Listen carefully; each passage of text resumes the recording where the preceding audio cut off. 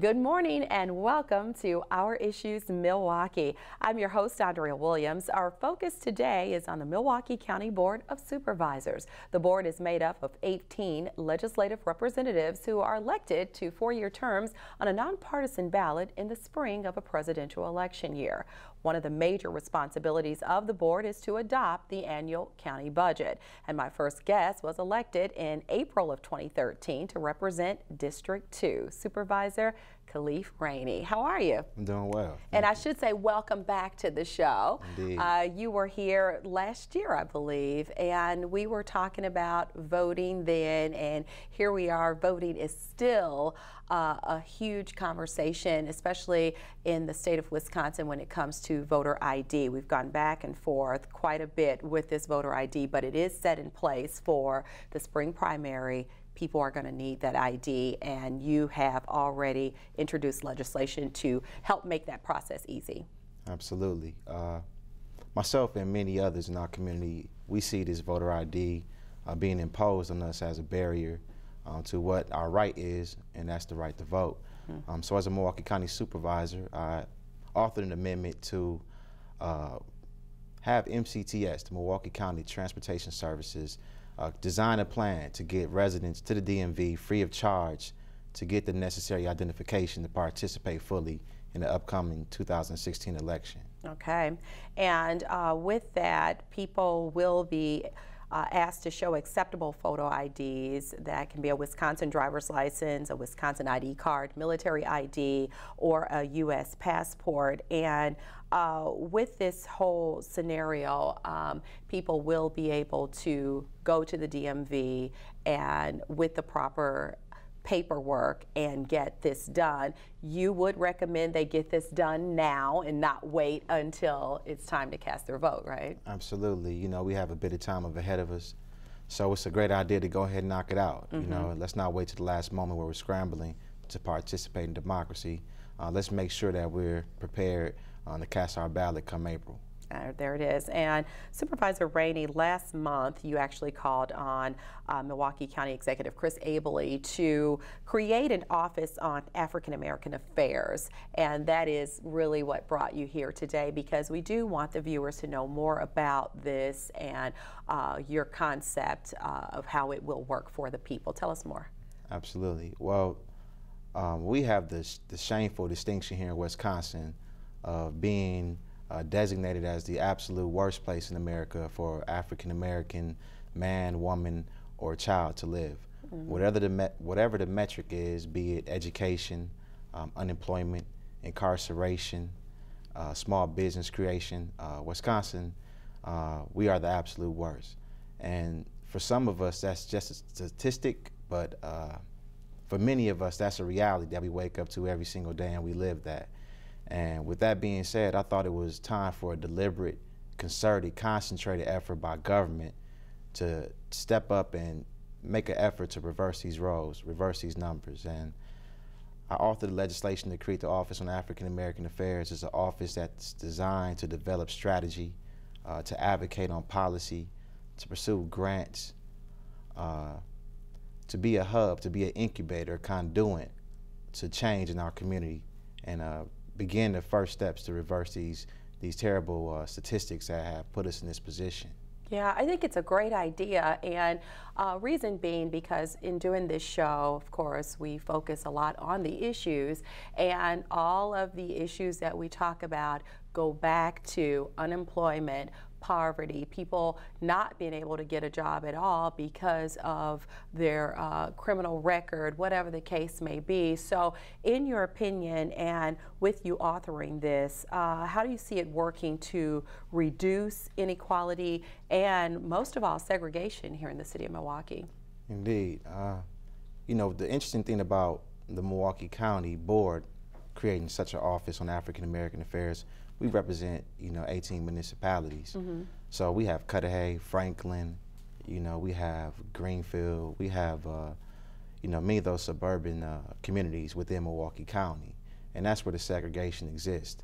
And I actually uh, had a conversation recently uh, with a developer who's interested in the housing aspect of that office just for that particular issue. So, you know, we, we're, we're prepared to begin that process. I think first and foremost, what's most important is now that we've declared that this is a problem and government should have a role in addressing it. Mm-hmm. So I'm looking forward to working with uh, County Executive Chris Abele. You know, we are the policymakers here in Milwaukee County. Milwaukee County Board of Supervisors, we make the policy. Mm-hmm. The county executive, he now has the onus to fully implement the policy to make sure it's effective. So through the through the budget process, I have uh, allocated $300,000 to the office in seed money. I've spoke with the county executive, and he's committed to uh, finding 300,000 additional more dollars to make sure that the office has everything it needs to get started. Um, I have obtained a grant writer, and I'm looking right now to find leadership for the office. Okay. You know, uh, determine exactly you know who will be willing and who will be able to push this initiative through. Yeah, it's definitely going to be uh, a grassroots um, uh, approach because this has never been done. But uh, with the, the, the positive outlook on something like this, you already have Milwaukee Alderman Willie Wade, who's drafting a resolution to start a similar initiative at the city level and then State Representative Leon Young and State Senator Lena Taylor intend to introduce um, companion bills to create a state level bill. So, uh, how will we see these um, work on the from the city, uh, county, and state levels? Well, I thought it was important that I went to recruit uh, Representative Leon Young, Alderman Willie, Willie Wade, because um, the citizens of Madison, the citizens of Beloit, mm-hmm. uh, Racine. Southeastern Wisconsin, southeastern Wisconsin, we have the largest concentration of African Americans in the state of Wisconsin.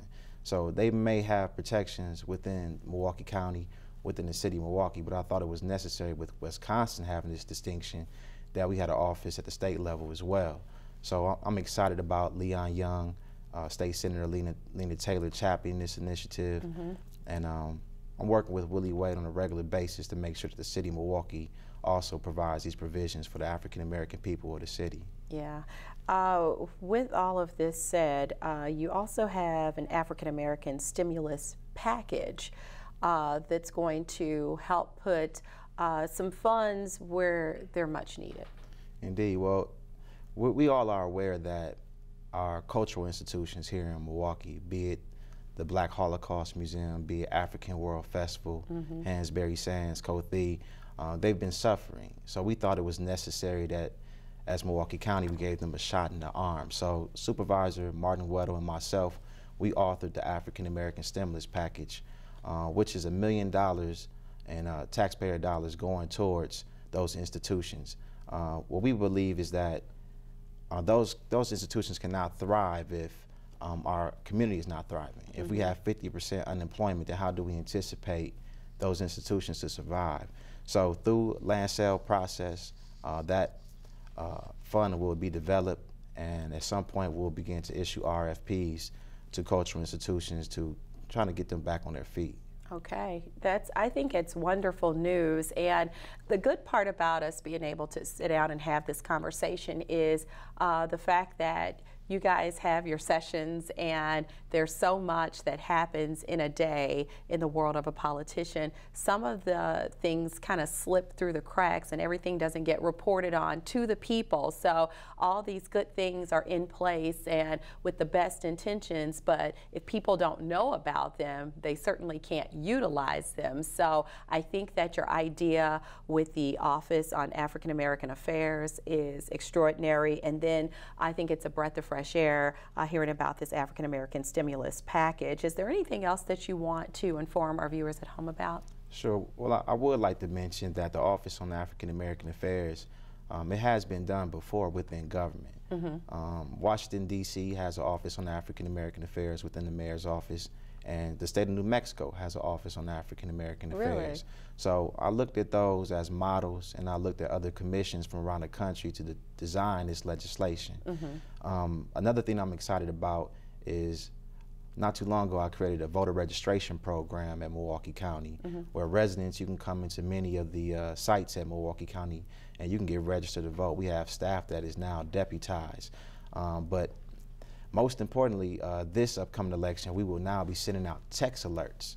So if you subscribe or if you are within Milwaukee County uh, alert system, you will receive a notification that hey, tomorrow is an election, and I think that's important and uh, it's part of my uh, my mantra to carry on. You know.